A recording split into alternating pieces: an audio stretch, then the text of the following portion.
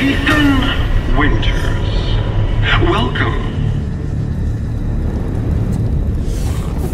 Ciao ragazzi, ciao a tutti, ben ritrovati qui sul mio canale. In questi giorni sto portando Resident Evil Village e in un momento di disperazione dove non trovavo altre cose da fare ho cercato insomma sulla mappa le porte non ancora aperte. Quindi in pratica ho prima risolto l'enigma e trovato il tesoro e poi dopo ho trovato la mappa in soffitta con gli indizi su dove trovare il tesoro. In pratica, dopo aver risolto l'enigma delle campane nell'atelier, vi ritroverete in questa soffitta dove dovrete sconfiggere alcuni nemici. Dopodiché troverete questa mappa accanto a una scatola di legno che potete rompere.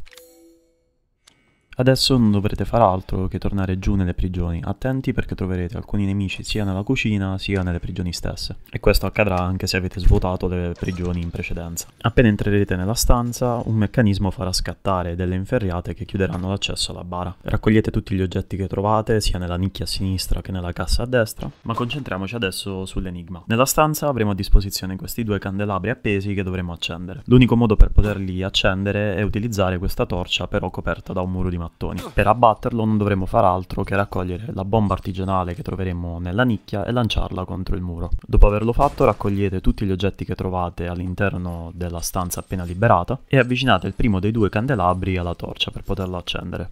Per poter invece accendere anche l'altro avrete bisogno di sparare alcuni colpi in modo da fare incontrare i due candelabri e quindi accendere anche il secondo. All'interno della bara troverete un occhio azzurro, ma non vendetelo subito al duca perché potete unirlo a un anello che troverete in seguito. Ed esattamente come in Resident Evil 4, unendo due tesori essi aumenteranno di valore.